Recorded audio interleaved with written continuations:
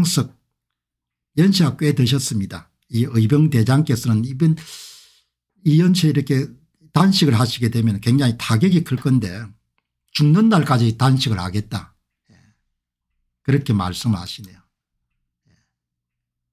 예. 굉장히 이렇게 국가 간이 철두철미하시고 이 분야에서는 굉장히 오랫동안 활동해 왔기 때문에 많은 분들이 아시는데 사제도 틀고 이렇게 해가지고 이렇게 어떻든 선거 무정 문제를 그냥 정상화 시켜 야겠다 이렇게 하시는데 결국 이분이 이제 이건 안 되겠다. 내가 죽어야 예? 내가 죽어야 되겠다 이렇게 생각하신 것 같아요. 그래서 이제 부정선거 수사 촉구 단식 투쟁을 내가 20일부터 시작하겠다. 예. 오후 1시부터 예. 이렇게 이야기를 했는데 주변 분들이 많이 말리신 모양입니다. 이제 나이가 있고 하기 때문에 이렇게 단식을 하게 되면 젊은 사람처럼 그렇게 오래 견딜 수가 없거든요. 이제 국민의힘 당사 앞에서 정식으로 집회 신고를 해가지고 국민의힘 당사가 지금 이제 아마 여의도 저에 있는 모양인데 이렇게 해서 이제 이분이 지금 나서시겠다 이렇게 했는데 주변 분들이 이제 아무리 말려도 너무나 확신이 있었기 때문에 근데 이분이 쓰신 글을 보니까 확고하신 것 같아요. 윤석열 대통령께서 우리 자유우파 국민들의 부정선거 수사 요구에 대해 계속 침묵하고 계십니다. 그것은 이 나라 국가 원수 겸 국구 통순권자로서 행정부 수반으로 취할 올바른 도리가 아니라고 생각합니다. 헌법에 명시된 국민들의 신성한 참정권과 국민주권이 선거관리위원회 부정선거로 인해 국민들의 주권이 심각히 유린되고 있음은 물론입니다.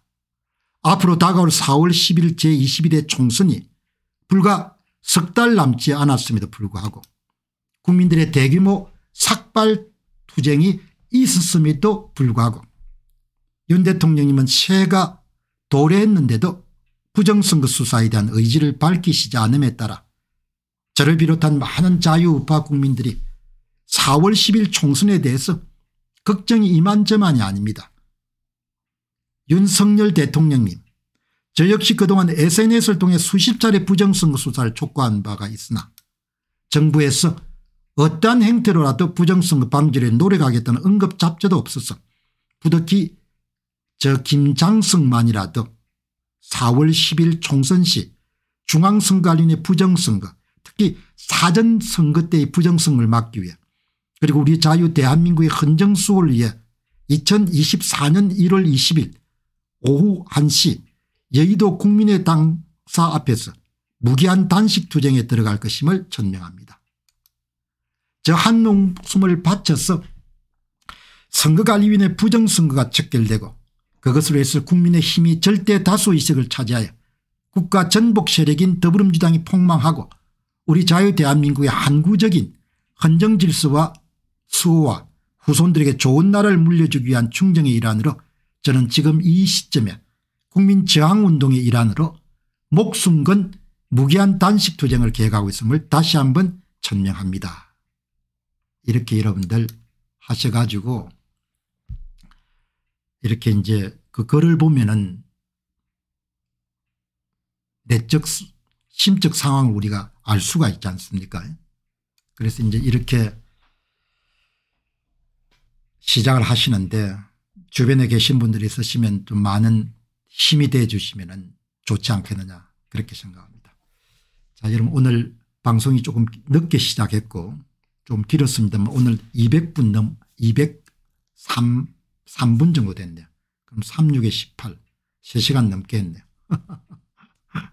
예.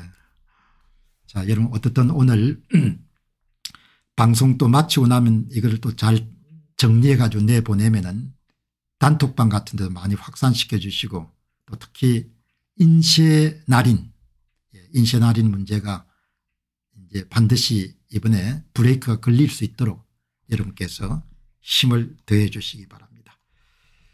자 여러분들 오늘 방송 마무리하기 전에 광고, 광고 하나 여러분들 간단하게 드리고 그 다음에 여러분들 방송 마무리하도록 하겠습니다. 오늘 그동안 이제 선거 부정 문제를 총정리한 도둑놈들 시리즈가 시중에 나와 있으니까 여러분께서 많은 그런 응원을 부탁드립니다. 자 여러분들 그러면 또 오늘 방송 마무리하고 내일 오전 5시에 어김없이 또 새로운 주제를 가지고 여러분 찾아뵙도록 하겠습니다. 그리고 오늘 개별적으로 일일이 부탁을 못, 드렸, 못 드렸는데 후원해 주신 분 굉장히 고맙습니다. 그리고 오늘 바이런 만세님이라든지 사내아이님처럼 이렇게 음지에서 스페너 역할 잘 해주셔서 대단히 고맙습니다. 여러분 고맙습니다. 감사합니다.